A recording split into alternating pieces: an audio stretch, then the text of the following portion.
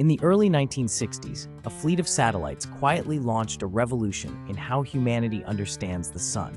NASA's Orbiting Solar Observatory, or OSO, program began in 1962, deploying a series of satellites specifically designed to study the Sun's ultraviolet and X-ray emissions, wavelengths impossible to observe from the ground.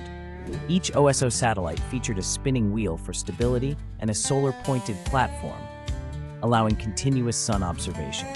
Before OSO, scientists had only glimpses of solar activity, missing critical data on solar flares and the sun's dynamic atmosphere.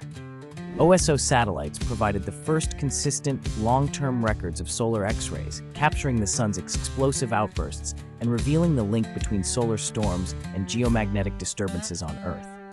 This data was pivotal in developing early space weather forecasting, helping protect satellites, astronauts, and even power grids. OSO's legacy endures, as its discoveries laid the groundwork for all modern solar observatories.